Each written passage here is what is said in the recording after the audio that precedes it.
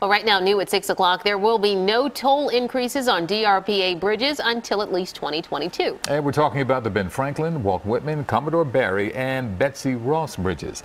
The Delaware River Port Authority made the announcement in Camden today as part of its 2019 Year in Review presentation. The DRPA is also hoping to keep fares the same on the Patco High Speed Line.